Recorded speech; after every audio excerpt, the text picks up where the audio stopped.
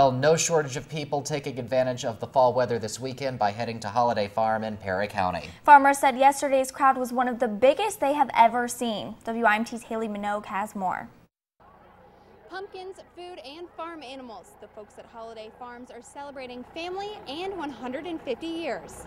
Sun's shining, things are drying up. We got a big crowd out here. Folks at Holliday Farms welcomed in a record crowd on their last Family Farm Days event of the year. Families spent the day on hay rides, spending time with animals, some pigs and rabbits and some birds. Now, and even painting pumpkins. I make it all pretty. I'm 66 years old there. I can remember coming down here when I was just a little bitty fella there, you know, you know. Mm-hmm. I hate to count the number of years, you know. Farmer Chad Conway said he loves that families get to spend quality time together at the pumpkin patch. He said he also wants kids to learn about farming while they're there.